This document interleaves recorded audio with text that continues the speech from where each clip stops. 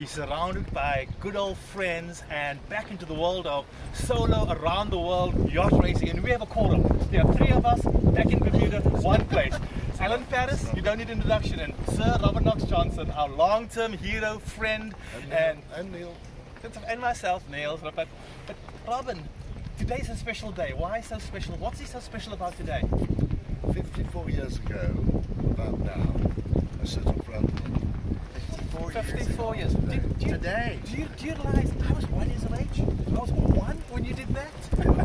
you're, you're older than most of the people I've got around me. but, but Robin, you've made such incredible history uh, being the first person to race solo around the world.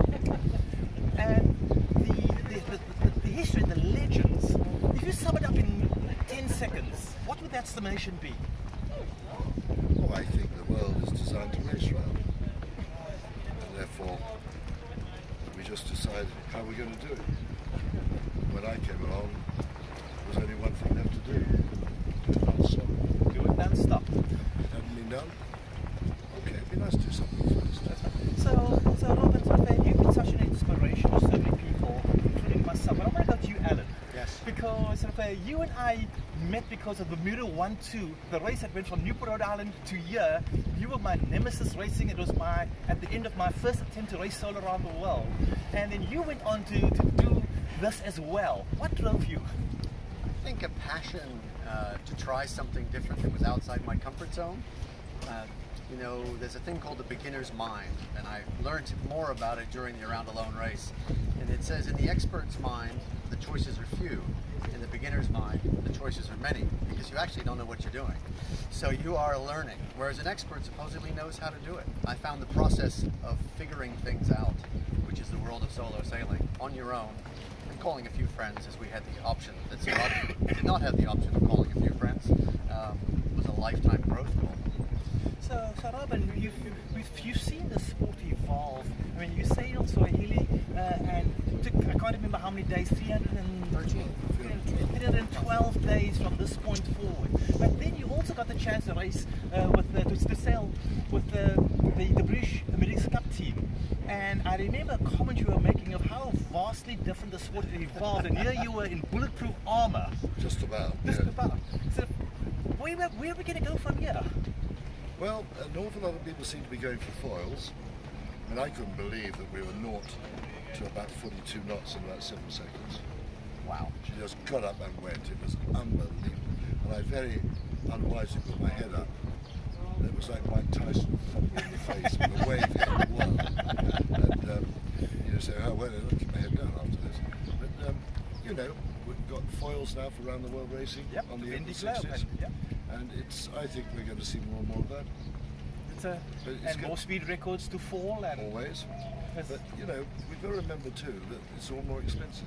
Yes. And really, the strength of saving isn't at that upper end, the expensive end.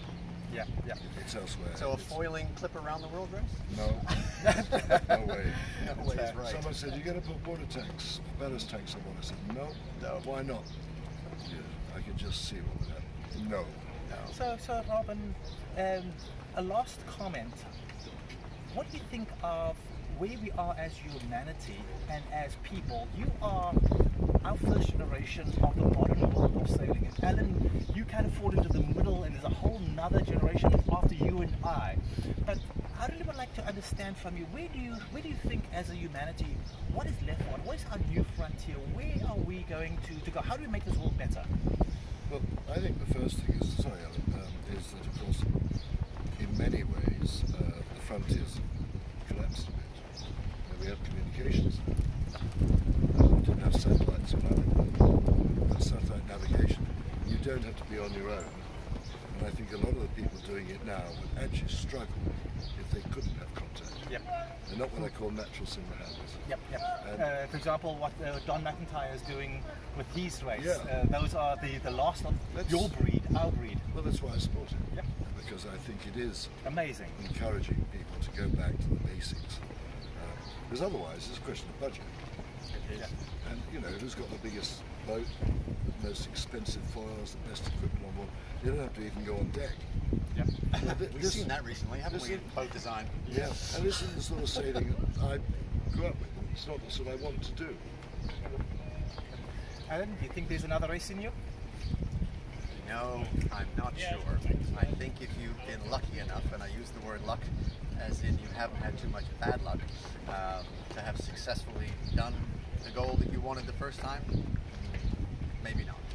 So we are now the three old men, the three wise men who have done this and we want to challenge others to, to dream big and never to give up and to Sorry. really pursue those Sorry, dreams and those You don't goals. have unanimity here. Yeah. We've decided we're not wise. Okay, then we were the ones that were not so wise, but we did it.